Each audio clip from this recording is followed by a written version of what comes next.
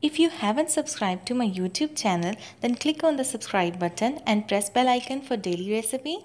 Aslam friends this is me Fatima Malik and I welcome you all in F M's Bawarchi Khana I hope you all are fine so आज हमारे बावर्ची खाने में बन रहे हैं मज़ेदार सफ़ेद चने कढ़ाई और ये किस तरह से बनेंगे और इसके लिए क्या क्या चीज़ें चाहिए? सबसे पहले एक अदद कढ़ाई ली है मैंने और उसमें एक कप के करीब ऑयल ऐड कर दिया है।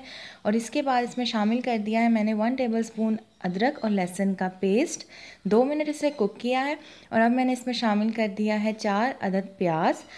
कटे हुए प्याज को हमने ब्राउन करना है। गोल्डन ब्राउन होने तक इसे पकाएँगे। आप देख सकते हैं प्याज जो है, अच्छे से गोल्डन ब्राउन हो रहे हैं।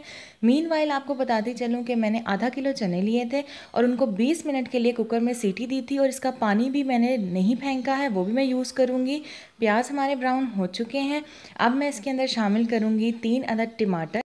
इनको छोटा छोटा मैंने कट कर लिया है, इसको अब मिक्स करेंगे और मिक्स करने के बाद इसके अंदर मैं स्पाइसेस ऐड करूँगी। स्पाइसेस में आपको मैं बताऊँगी कि मैंने इसके अंदर क्या शामिल किया है। तो सबसे पहले मैंने इसमें ऐड किए हैं टू टेबल स्पून सॉल्ट यानी कि नमक, फिर two tablespoon red chilli powder यानी कि लाल मिर्च, और हाफ़ टी स्पून मैंने इसमें टर्मरिक पाउडर यानी कि हल्दी का डाला है। इसे मिक्स कर लिया अच्छे से। मिक्स करने के बाद आप देख सकते हैं कि ये कितना अच्छा मसाला जो है हमारा तैयार हो रहा है। तो अब इसमें हम थोड़ा सा पानी ऐड करेंगे, तकरीबन आधे ग्लास से थोड़ा सा कम, और इसे मिक्स करेंगे ताकि हमारा मसाला जो है बिल्कुल अच्छे से भुन जाए।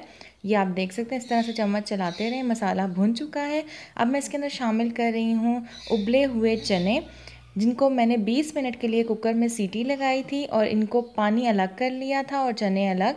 और अब इसके अंदर मैंने बाकी का पानी जो था वाइट चिकपी स्टॉक वो भी ऐड कर दिया है, तकरीबन दो से तीन ग्लासेस ऐड करने के बाद अब हम इसे ढक के रख देंगे और नॉर्मल मीडियम फ्लेम पे हम इसे कुक करेंगे ताकि पानी ड्राई हो जाए।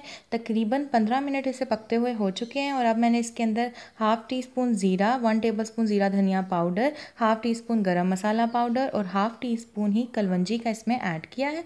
मिक्स करेंगे इससे अच्छे से। और मिक्स करने के बाद अब मैं इसमें शामिल करूँगी टू टेबल स्पून कसूरी मेथी। इट्स ऑप्शनल अगर आप डालना चाहते हैं, आप डालें। नहीं डालना चाहते तो मत डालें बट इससे टेस्ट जो है ये बहुत अच्छा आएगा और इन्हेंस हो जाएगा टेस्ट इसके बाद इसे कवर करें और दोबारा पकने के लिए रख दें। आप देख सकते हैं, पानी जो है वो काफ़ी हद तक ड्राई हो चुका है। ये कढ़ाई है और इसमें पानी जो है वो बहुत ज़्यादा नहीं रहेगा। ग्रेवी थिक रहेगी इसकी, तभी इसका मज़ा आएगा और टेस्ट अच्छा रहेगा। तो आप देख सकते हैं, हमारा पानी जो है ऑलमोस्ट ड्राई हो चुका है। अब इस स्टेज पर मैं इसके अंदर फ्रेश कॉरियडर ऐड कर रही हूँ और ग्रीन चिलीज़ ऐड कर रही हूँ। और इसके बाद इसे तकरीबन दो से तीन मिनट कुक करेंगे और इसको चूल्हे को हम बंद कर देंगे। चने हमारे बिल्कुल तैयार हैं, बहुत मज़ेदार बने हैं। आप भी इसको ज़रूर ट्राई कीजिएगा। और भी कोई रेसिपी आप सीखना चाहते हैं, मुझे कमेंट में फीडबैक देके ज़रूर बताइएगा। वीडियो पसंद आए तो इसे लाइक कीजिएगा शेयर कीजिएगा। नीचे रेड बटन पर क्लिक करके मेरे चैनल को सब्सक्राइब कर लीजिएगा। साथ वाले बेल आइकन पर क्लिक करना मत भूलिएगा, क्योंकि उससे आने वाली मेरी हर नई वीडियो सबसे पहले आप तक पहुंचेगी और ये बिल्कुल फ्री है। So thank you so much for watching अल्लाह हाफिज़।